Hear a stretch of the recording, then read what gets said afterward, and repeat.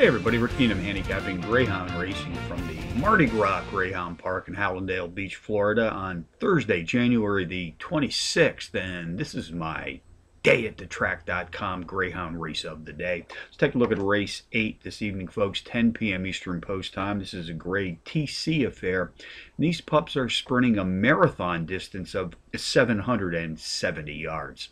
I use a software product called Quick Dog to help me analyze Greyhound racing, and the software product has helped me isolate a power pup to put on top of my multiple entry contenders list. And on this entry tonight, number five, KR Connie, I'll make a win place and show wager. I also like to play the boxed exotics here at Mardi Gras, so along with number five tonight, I'll be boxing number four, MVsville, number six, JJ Full and Sassy, and number one, Don Coryell.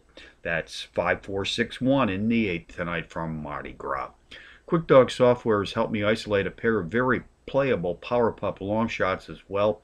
I'm going to suggest win, place, and show wagers on both of these entries. The first comes in race 4, win, place, and show on a 4 to 1 shot, number 4, Fuzzy Wit.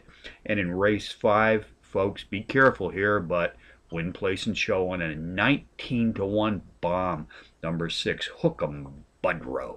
So from Mardi Gras on a Thursday night, Rick Needham for day at the track.com, reminding you as always to please bet with your head, not over it.